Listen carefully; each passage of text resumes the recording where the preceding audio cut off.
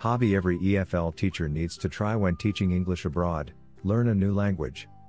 Of course, there is also the opportunity of taking classes to learn the language of the country you're working in.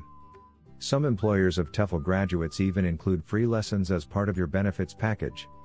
There can be no better opportunity for you to practice on a daily basis. Check the local university or YMCA for language classes, or consult with other expats about how they learn the local language. Thanks so much for watching.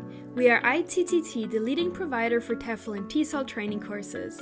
If you like this video, please subscribe by clicking that button down here and click on any of the videos here on the left for more interesting teaching tips for getting certified to teach English abroad and online.